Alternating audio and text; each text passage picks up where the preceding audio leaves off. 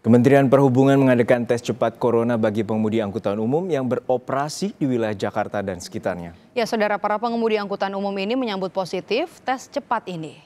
Pada Senin pagi tadi, sejumlah pengendara angkutan umum mulai mengantre di sekitar Kementerian Perhubungan Jakarta Pusat untuk mengikuti tes cepat status COVID-19. Para pengemudi yang datang merupakan pengemudi yang sebelumnya telah didata oleh perusahaan masing-masing. Rencananya tes cepat ini akan dilakukan hingga jam 3 siang atau sampai kuota habis.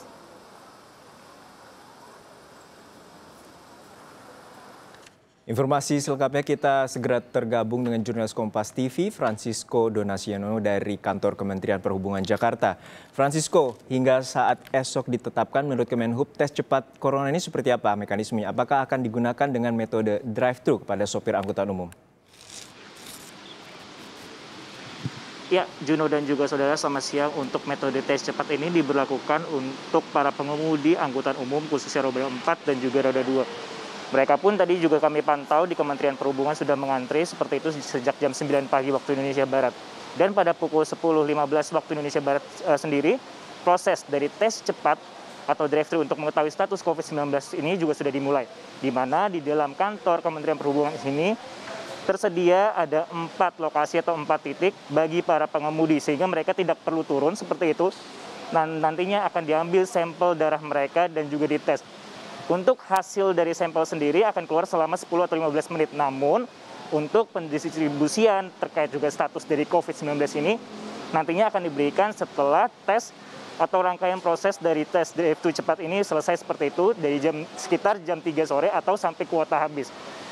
Untuk kuota sendiri, Juno dan juga saudara disediakan oleh Kementerian Perhubungan, yaitu sekitar 200 alat tes seperti itu. Dan juga uh, apabila dalam visual Anda terdapat banyak mobil di sini, uh, dan belum ada pengemudi ojek, uh, ojek online seperti itu, karena memang saat ini fokusnya itu pertama adalah untuk pengemudi untuk uh, roda 4 sendiri. Dan nantinya nanti, memang tadi kami juga sudah berbicara seperti itu kepada pihak aplikator yang memberikan jasa atau pelayanan ojek online sendiri mereka akan datang pada siang hari seperti itu Juno dan juga saudara. Ya Francisco, lalu bagaimana mekanisme bila hasil tes yang tadi Anda sampaikan bahwa hanya 10 menit, hasil tes akan segera diketahui. Bagaimana bila sopir tersebut dinyatakan positif? Apa langkah Kemenhub selanjutnya?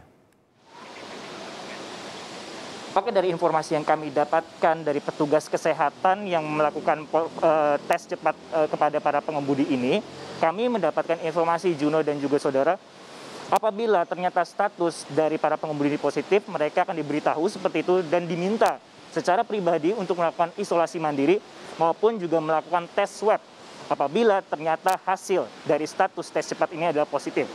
Dan untuk masalah juga masalah keefektivitasan dari rapid test sendiri sendiri untuk menekan penyebaran dari COVID-19 ini kami mendapatkan informasi juga dari pihak tenaga kesehatan yang dari poliklinik Kementerian Perhubungan bahwa hal ini nantinya juga kembali lagi sebenarnya Juno dan juga saudara terhadap perilaku hidup sehat dan juga bersih seperti menjaga menjaga pola hidup yang sehat dan juga physical distancing seperti yang dianjurkan oleh pemerintah seperti itu Juno dan juga saudara.